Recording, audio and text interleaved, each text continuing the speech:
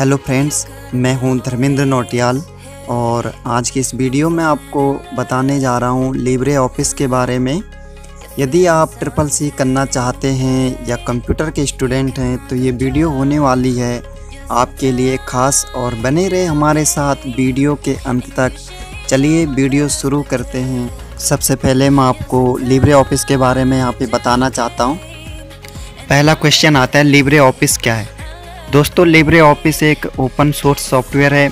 ये M S office package की तरह है, जैसे हम एम एस वर्ड इस्तेमाल करते हैं, ऐसे हम इसको भी यूज़ करते हैं। जैसे यहाँ पर पहला क्वेश्चन आता है ओपन सोर्स सॉफ्टवेयर क्या होता है? तो दोस्तों ओपन सोर्स सॉफ्टवेयर वे होते हैं जिनका सोर्स कोड पब्लिक अवेलेबल होता है। इनका सोर्स कोड कोई भी प्राप्त कर सकता है।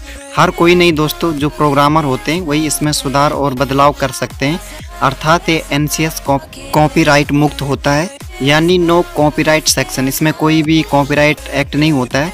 इसके बहुत उदाहरण है, जैसे लाइनेक्स हो गया फायरफॉक्स हो गया स्क्वेल लेजर हो गया ई जो प्रोग्रामर होते हैं, वो इनका सोर्स कोड चेंज करके नए वर्जन में सॉफ्टवेयर को लॉन्च करते हैं। जैसे माइक्रोसॉफ्ट में वर्ड एक्सेल पावर पॉइंट होता है, ठीक ऐसे ही लिब्रे ऑफ़िस में writer calc impress base draw और मैथ होता है।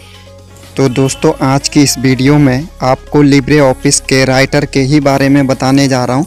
तो चलिए दोस्तों, वीडियो शुरू करते हैं और चलते हैं अपने कंप्यूटर के स्क्रीन के आज की इस वीडियो में हम पढ़ेंगे लिब्रे ऑफ़िस राइटर के बारे में।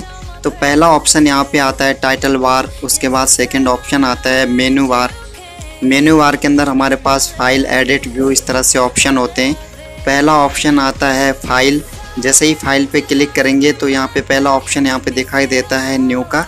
इसका शॉर्टकट है कंट्रोल प्लस एन हम यहाँ से direct spreadsheet presentation drawing formula database भी ओपन कर सकते हैं। और कंट्रोल एन अगर प्रेस करते हैं तो टेक्स्ट डॉक्यूमेंट यहाँ पे ओपन होता है।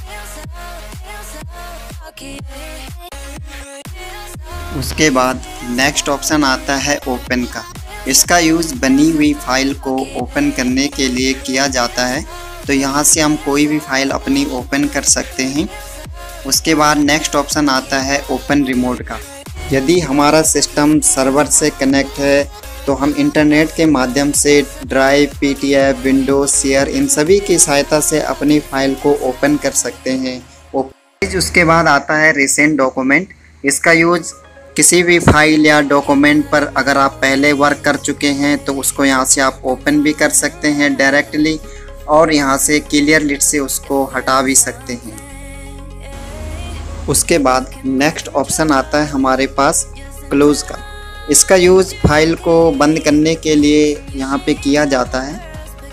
तो यहाँ से हम अपनी फ़ाइल को बंद कर सकते हैं। उसके बाद नेक्स्ट ऑप्शन आता है बीजार्ट इसका यूज़ लेटर बनाने या पीडीएफ फैक्स एजेंडा बनाने या एक फ़ाइल को दूसरे फ़ाइल में कन्वर्ट करने के लिए किया जाता है। उसके बाद नेक्स्ट ऑप्शन आता हमारे पास टेम्पलेट्स। इसका यूज़ पेज पर डिज़ाइन बनाने के लिए करते हैं, जैसे यहाँ पे आप ओपन टेम्पलेट भी कर सकते हैं। यहाँ से टेम्पलेट को सेव भी कर सकते हैं बनाने के बाद। और मैनेज टेम्पलेट, जिसका शॉर्टकट है control plus shift plus N तो यहाँ से हम डिज़ाइनिंग भी बना सकते हैं पेज पर। उसके बाद नेक्स्ट ऑप्शन आता है हमारे पास रीलोड का। इसका यूज़ डॉक्यूमेंट में कोई भी टेक्स्ट को अगर हम चेंज करते हैं तो उसको हटाने के लिए किया जाता है। उसके बाद नेक्स्ट ऑप्शन आता है हमारे पास वर्जन इसका यूज़ लिखे हुए फ़ाइल को अलग अलग वर्जन में सेव करने के लिए किया जाता है। तो अलग अलग नाम से हम इसको सेव कर सकते हैं। उसके बाद नेक्स्ट ऑप्शन आता है सेव का, जिसका शॉर्टकट है कंट्रोल प्लस एस तो इसका यूज़ फ़ाइल को सेव करने के लिए किया जाता है, जो हम एम एस ऑफ़िस वर्ड में भी यूज़ करते हैं।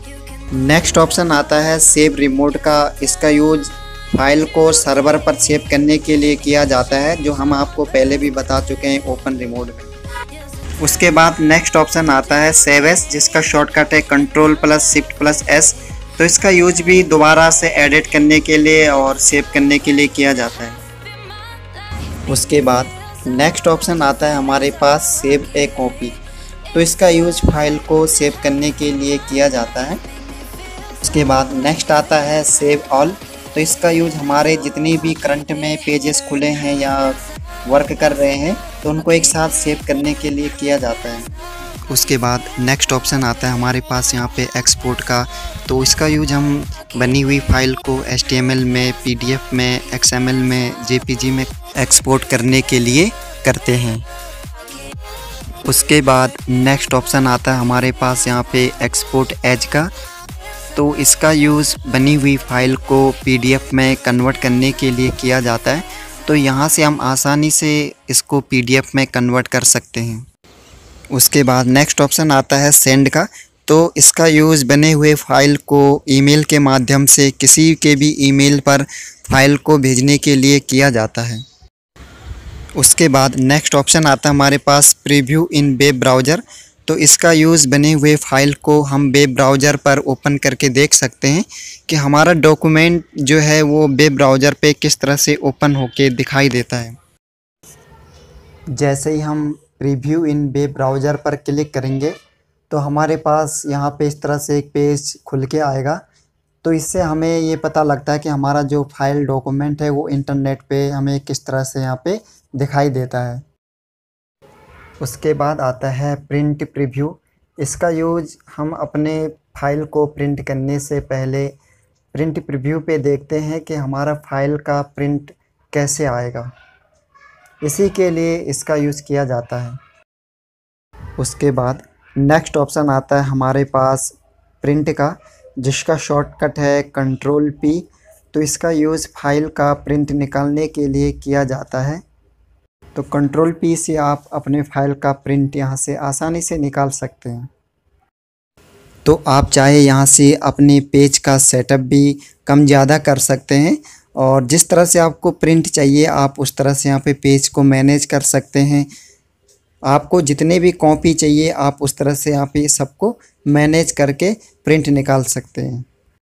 उसके बाद नेक्स्ट ऑप्शन आता है हमारे पास डिजिटल सिग्नेचर तो यहाँ पे हम जो भी पेपर पे साइन करते हैं, उसको सिग्नेचर कहते हैं।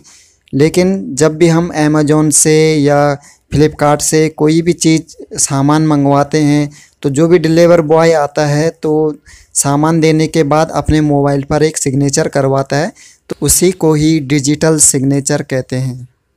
उसके बाद नेक्स्ट ऑप्शन आता है हमारे पास प्रॉपर्टीज़ तो इसका यूज़ फ़ाइल के पूरा डिटेल्स देखने के लिए किया जाता है, जो भी आपने फ़ाइल में वर्क किया है तो उसकी आप प्रॉपर्टीज़ से पूरी डिटेल्स देख सकते हैं।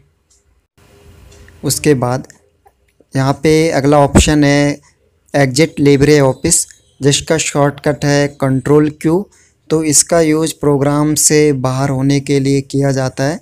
तो यहाँ से हम आसानी से प्रोग्राम से बाहर हो जाते हैं। तो दोस्तों, ये था लिब्रे ऑफ़िस का फ़ाइल मेनू के बारे में।